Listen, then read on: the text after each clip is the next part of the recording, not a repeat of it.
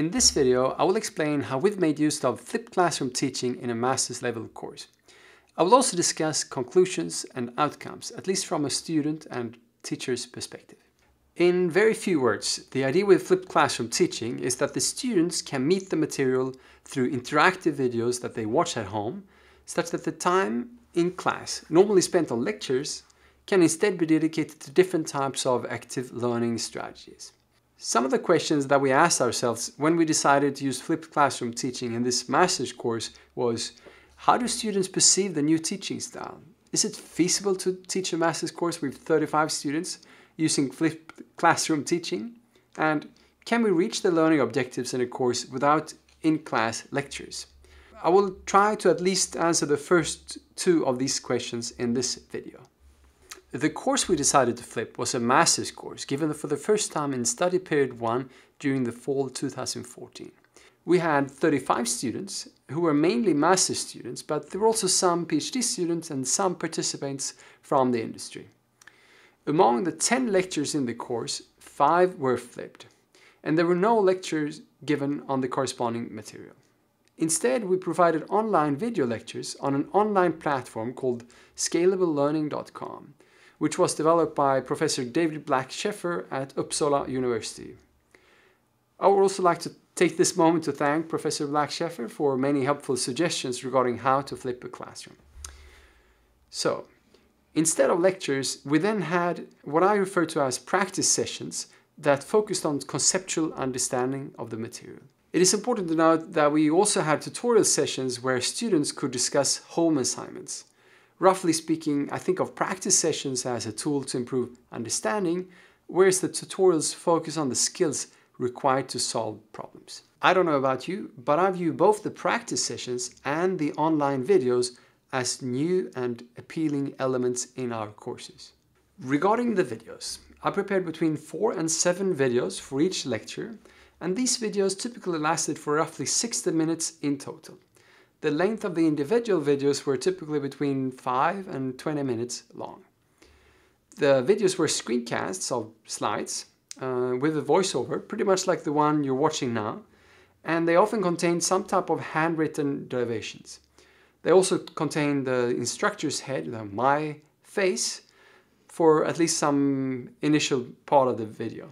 In difference to the video that you're watching now, the videos in the course all contain at least one multiple choice question that the students should answer before class. Let me say a few words about the practice sessions. To me, as a teacher, it was a wonderful experience. For every lecture, I now had a full two-hour session that I could dedicate to providing an understanding of key concepts through different group activities. This is a rare and great luxury, though at the same time rather challenging. The plan for the sessions uh, was to dedicate the first 10 minutes or so to go through questions that had appeared when the students were watching the videos. The rest of the time was spent on two types of activities, namely collaborative problem solving and peer instructions, performed in groups of four students. All the problems and questions that we covered during these sessions were developed by us specifically with the objective to improve the students' understanding of the material. Designing these problems is not an easy task, and I'm sure that we will be able to improve on it with time. Many of you may ask yourself how one can convince the students to watch the videos at home.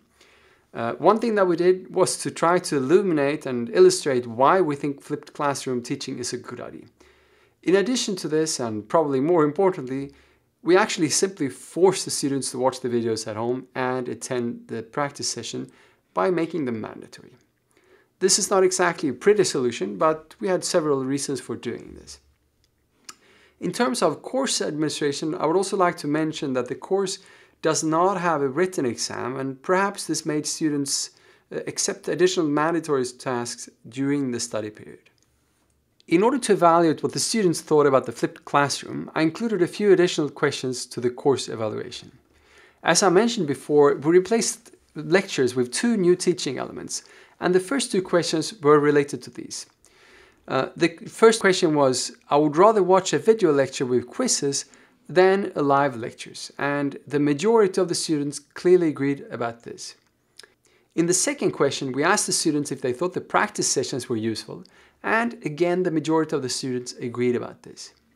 An interesting observation is that previous studies of flipped classroom teaching have mentioned that even though most students really like the flipped classroom technique, there are often at least one student in each class who strongly dislikes it. And we get a very similar result here. One aspect that is frequently discussed when people consider how to design video lectures is how long the individual videos should be. Uh, in case you're familiar with Khan Academy, you might have noticed that they have the policy that videos should not be longer than 10 minutes. And there are other people who argue that they should not be longer than 6 minutes. Considering that many of my videos are 15 minutes long, it felt relevant to check if the length of the videos bothered the students. According to their answers here, the length does not seem to be a problem, though some students pointed out that the total length of all the videos that they should watch before a single class should not be significantly longer than 60 minutes. To evaluate the complete concept of flipped classroom teaching, I also asked the students if they thought that it had led to improved learning and better understanding of the concepts, and the majority of the students strongly agreed with this statement. So at least according to this highly subjective measure, uh, I think it was uh, a great success. In order to get more specific feedback, the students were also asked to list pros and cons with flipped classroom teaching. In the following list, I've tried to cluster similar answers into groups.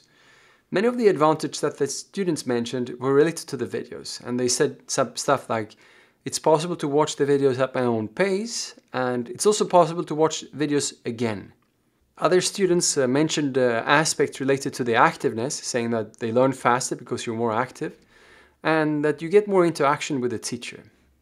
The disadvantages that they mentioned were the increased workload and uh, what I think are two comments related to the practice session. The first uh, comment was practice sessions are not useful because students solve problems at different paces. And another student said talking about the lectures was not useful. It is possible that this comment refers to the time that we spent going through questions that students asked while watching the videos, uh, but I'm not entirely sure.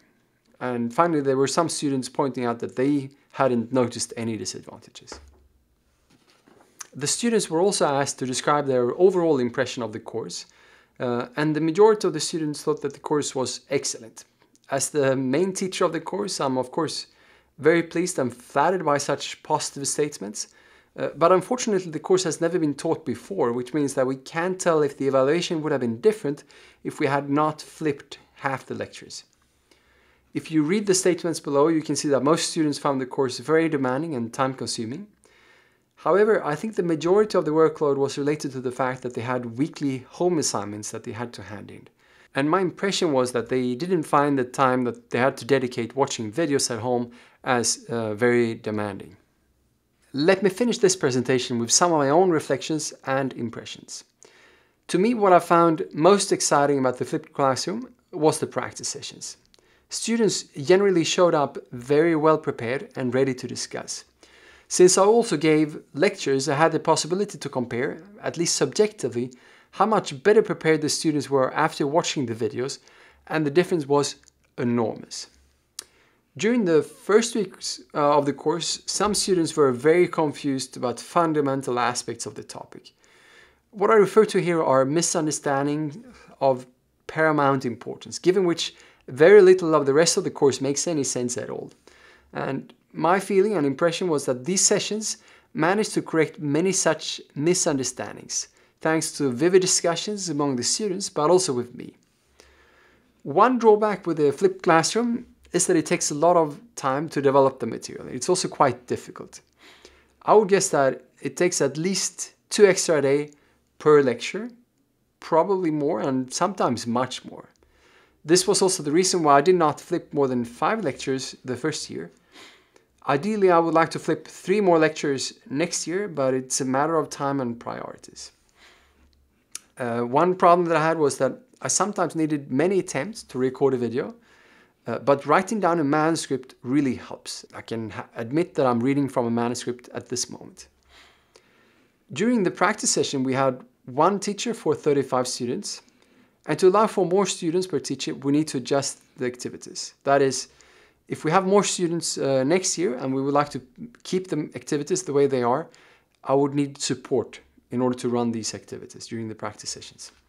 Finally, some general conclusions is, are that um, I think it's been amazing to use flipped classroom teaching, uh, but a course doesn't automatically become fantastic just because you flip it.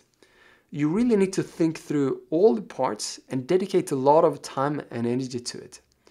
A common suggestion that I think is reasonable is to initially only flip two lectures and then gradually transform your courses using flipped classroom teaching. That's all for today. Thanks for listening.